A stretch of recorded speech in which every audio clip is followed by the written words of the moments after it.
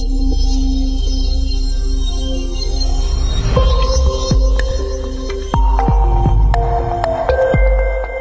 the Lord. My subject this morning is from verse 23. Lord, are there few who are saved? It was a question that Jesus was asked. Are there few who are saved? Or we can put it this way Are there going to be few people that will be saved? It is a question that everybody should ask Am I going to be saved? Will I make heaven? You have heard and read that Jesus said, What shall it profit a man? To now, there's nothing wrong about prosperity message. Everybody wants to prosper. This ministry believes in you fulfilling your destiny. And there's nothing wrong about the message of deliverance because truly there is an enemy called Satan. But more than those messages is the message of salvation that we must not mix. Because after binding all the demons and casting them into hell, it will be disastrous for anybody to join them in hell. All the witches you have prayed against, you shouldn't share the same accommodation in hell. And you can't talk about prosperity with, but, and leave the word of salvation. Because after you have made all the money, when you die, you will leave everything behind. So this question is a very, very important question. Lord, are there few who are saved? Then Jesus said, strive to enter. I was checking the meaning of strive. It means that you make great efforts to achieve something. Great effort to achieve something. So what Jesus was saying, in other words, is, sir, make great effort to enter heaven. Make great effort to enter the narrow gate. Another definition of struggle says struggle or fight vigorously. This thing is important, It's not how some people talk about it. Amen. So Jesus says something again. He said, Many will seek to enter and not be able. And I underlined that in my Bible. Many will seek to enter. Look at verse 24 there.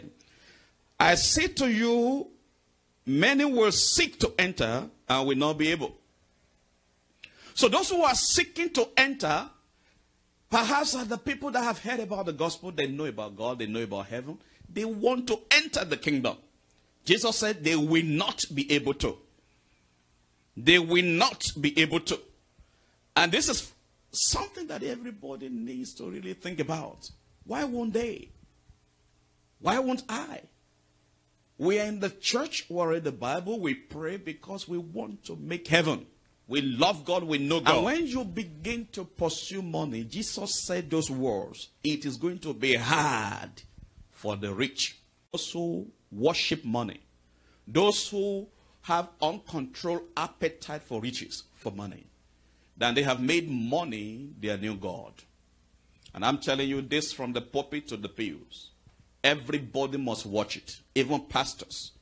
Because today, one of the parameters to measure success, especially in ministry, is the amount of money you control as a pastor, or, or the, the size of your congregation, or probably your invitations and anointing. But all those things don't move God. We men, human beings, will celebrate that. There are people that have names here on earth, but they are not known in heaven. We celebrate them here on earth. They are the papa and the mama and the pope and everything. We almost even worship. But heaven has no record of them. They want to enter, but they can't enter.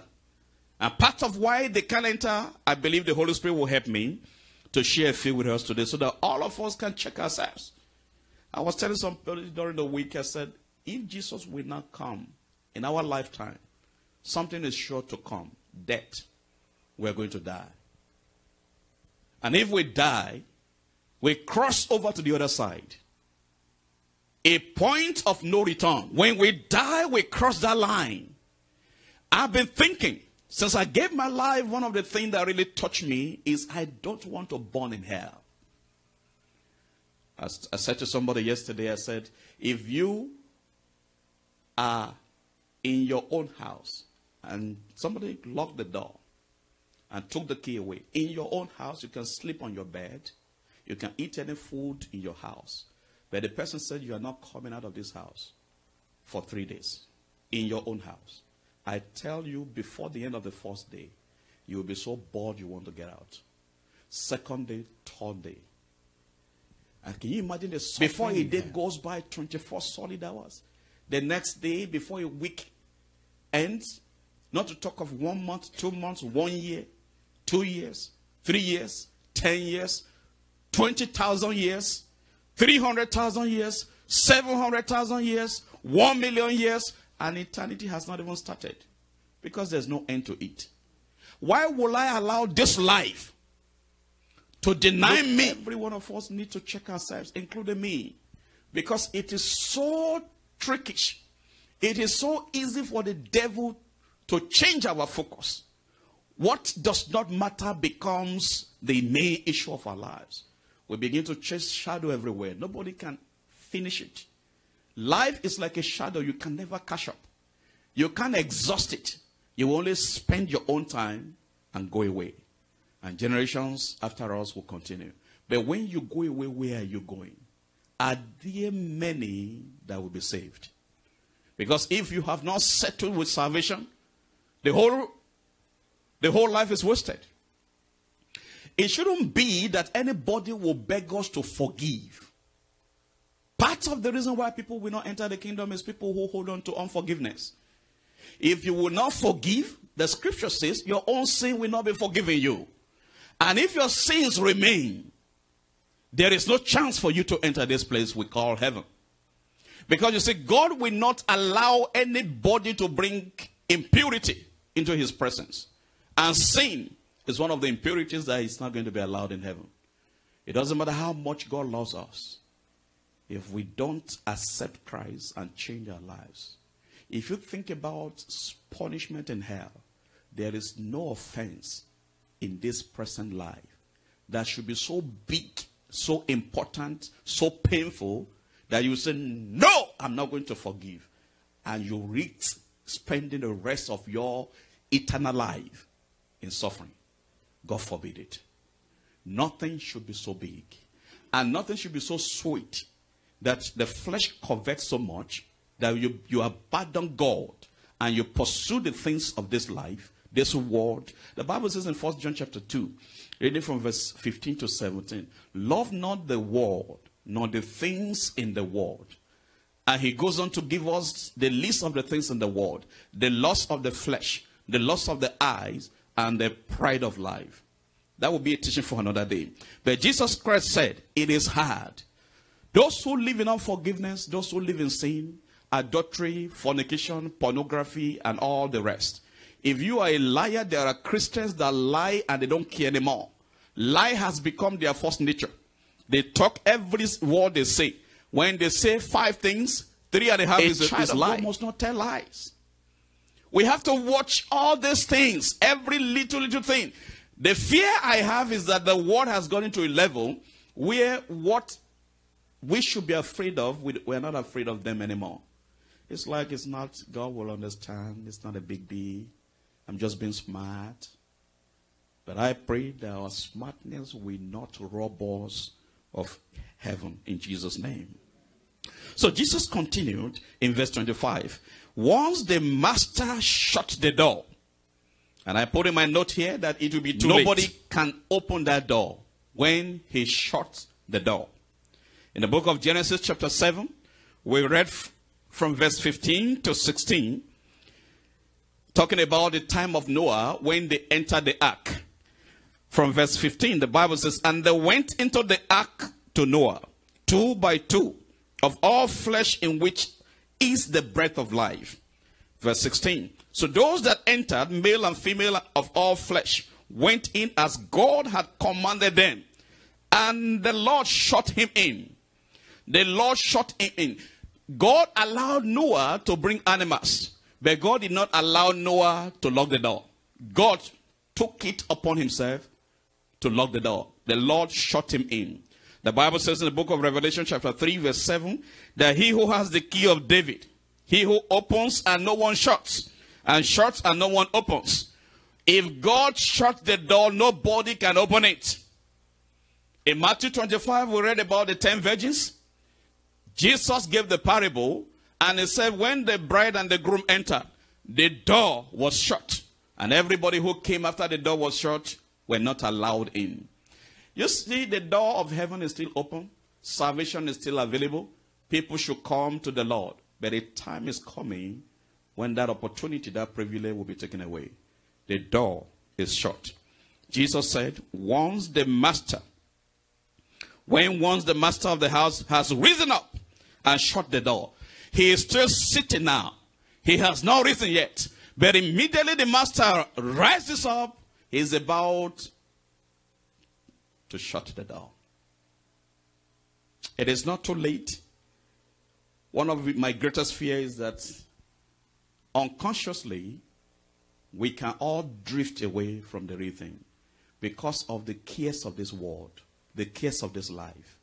Because we want to make it, we want to be rich, we want to be famous, we want to have this. I'm telling you, even from the pulpit pastors, there is competition in the body of Christ. There are pastors that are competing with other pastors because they want their church to be big. And I'm saying it's not your church, it is the church of the Lord Jesus Christ. But when you say it's my church, sit as if it is yours, and you begin to see yourself in competition with another pastor, another ministry, and the devil is enjoying it. The body of Christ is divided. Jesus said, He warned us that a kingdom that is divided against itself cannot stand. So the devil enjoys it when we begin to compete. The reason why I say all the time that all I want to do is for the kingdom. It's not competition for me. I'm only here for a short time. Maybe 100 years, if God blesses me, I spend 100, praise God. But I'm going to die one day. That's the reality that I have to accept. So if I embrace everything now, unfortunately, I can't keep it forever. I'm a fool. What you can't keep forever, don't keep at all. Hold on to God. Jesus Christ said, Let your treasure be where your heart will be. In John chapter 14, verse 1, he said, I'm going to prepare a place for you. Except if you are not going to heaven. He had prepared a place already. Why would you allow the devil or the temporary things of this world to rob you of eternity? Are there few that will be saved? Jesus said, Don't worry about how many people will be saved. You just strive to enter. The gate is indeed narrow. It is a narrow gate.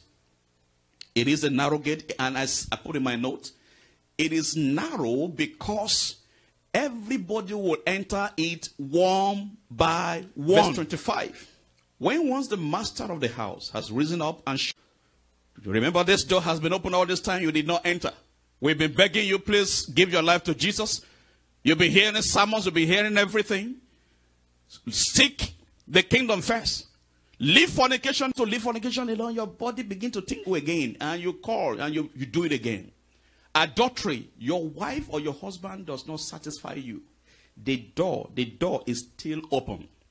It's still open, but not forever. It will be shut one day.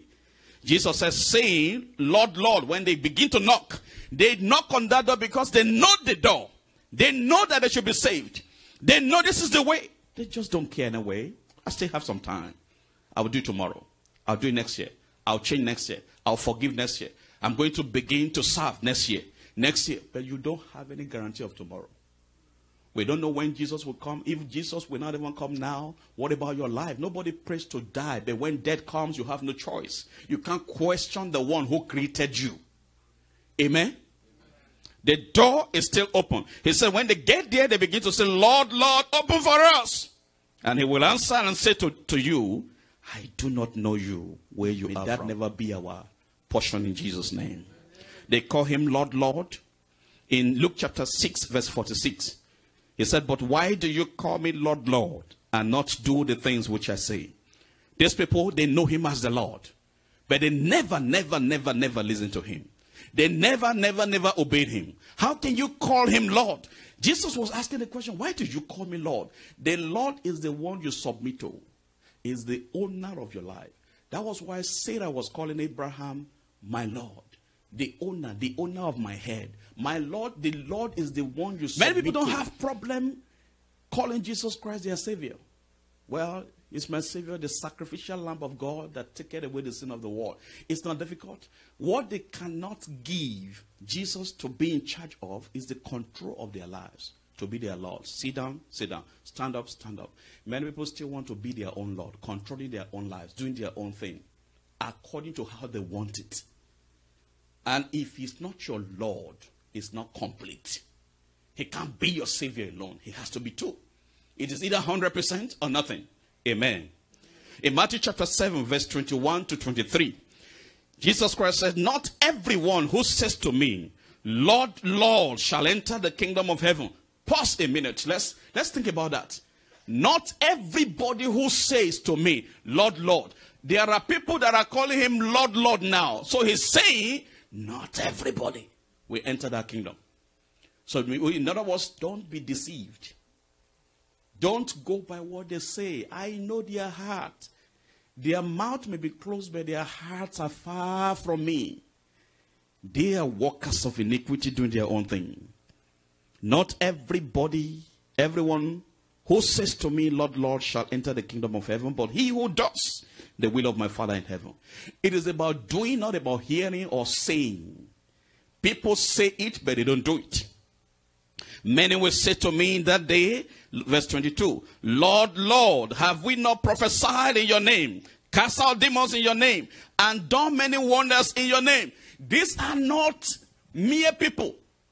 They are not just Christians, they are even workers, they are pastors, prophets. Did we not prophesy? Prophets prophesy. We cast out demons, we are miracle workers. Sir, as they were knocking, sir, we prophesy in your name, sir. Well, we cast out demons in your name. Now, think about it. How can the people that prophesied in the name of the Lord, cast out demons in the name of the Lord, be rejected? It's a serious matter. These people knew God in his name. But you know what? They are people who have commercialized the name of Jesus. They use it to make money and he allows them, miracle will still be happening when they call the name. For his name's sake, he will answer the prayer. But the vessel has been rejected. For his name's sake. Because they mention his name, he will answer them. So if you go by the miracle and signs and wonder, you are being deceived. Because I'm telling you, those who follow miracle signs and wonders, they may follow it. It's like a bait that can lead a lot to hell. The Bible says, examine, test every spirit Magicians can perform miracle. Moses before Pharaoh dropped his staff. Pharaoh called his magician. They dropped their staff. His staff turned to snake. Their staff turned to snake. It's not a big deal. But one is better than another because Moses' staff swallowed their own. God's power is always superior. But the manifestation may be the same many times. God can raise the dead. Some people can perform magic and raise the dead. But one is eternal, one is good, the other is not. Some people, those who go by sign, they can go to anywhere. As long as there's a sign, what amazes them? They think it's right. It's not can right. I tell you, Church of God, there will be so many surprises that morning when the saints are gathered in the presence of the Lord. And everybody begins to look at their record. You will shout and say! Prophet! So you were doing all of this and we didn't know. There are things we call anointing that are not anointing. But God sees everything. That one day, everything will be clear. Let me say something. Those who are standing for the truth in this present age, they're in the minority. The world does not celebrate truth anymore. If you lie, you get you get. I'm telling you, there are people who started church not because God called them, but because they call themselves. There are people who have been with the Lord for so long and they are bearing no fruit today. They, have, they are born again several years ago. But when God checks their lives, they are like that barren fig tree that was producing no fruit. And the master said, let's cut it down. But there was a plead for one more year. Sir, let's not cut it down. Let me cultivate around it. And the master said, okay, let's wait for another year. Many of us were still enjoying that grace of another year. It is better for us not to waste that grace. Because the same sun that melt the wax also hardened the clay. It is the same sun. The same God who shows love. He also has judgment. That's why. Luke chapter 13, verse 27. He said, There will be weeping and gnashing of teeth when you see Abraham and Isaac and Jacob and all the prophets in the kingdom of God and yourselves thrust out. May that not happen to us in Jesus' name. Weeping and gnashing. I tried to check those two words. Weeping because they will be sorrowful. Ah! Had I known. I said to somebody, I said on the judgment day, there will be too many had I knowns. People saying, if I had known, I would have let go. I would have forgiven that sister. I would have forgiven that brother. I would have forgiven my wife. I would have forgiven my husband. I would have forgiven my son or my daughter, or my sister or my brother, my pastor, my pastor's wife, my boss at work, my colleagues. Or I would have loved even more. I would have been available when there was need in the house of the Lord.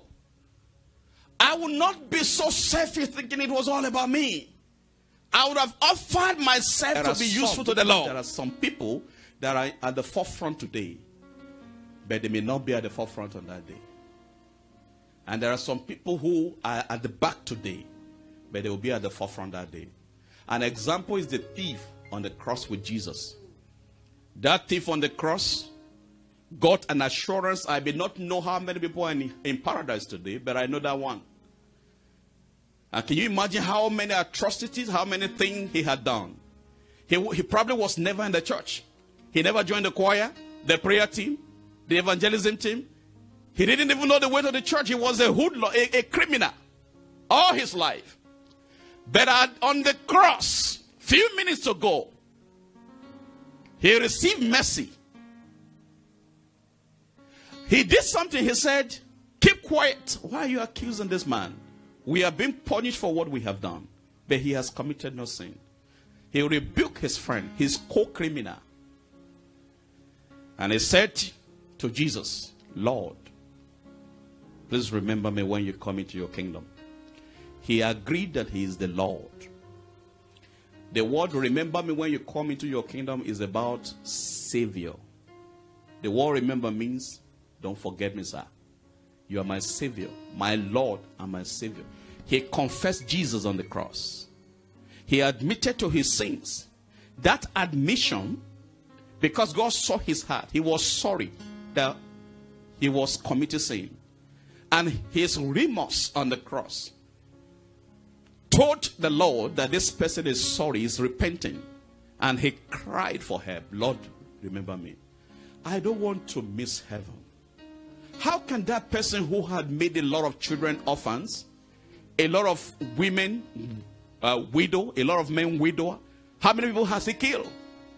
How many people had he defrauded? On the cross, he did the right thing. He entered heaven. Me that is preaching, me that has, I have forsaken so many things. Deny my flesh. There are things you would like to do. Go to the club, enjoy your life, but there are certain things that you just don't want to do because you are a believer. You deny the flesh. And at the end of the day, because of certain hidden sins that you failed to let go, because you won't come to this Jesus, you are asked to depart into eternity. May that never be our portion in The Jesus question I want us to ask ourselves before we go today among the few that will be saved, am I one? And the door is still open. Please talk to God, talk to your Creator. Tomorrow may be too late. Any assurance of the next hour, the next minute? The trumpet can sound anytime. It could be this moment. The trumpet can sound anytime. Before it is too late. And all the cares of this world will no longer matter. Every pursuit of life will suddenly vanish away. We can still make it right. Please, if you want to make a decision for the Lord, come Don't quickly, please. If you're here, you just want to straighten your way, come quickly.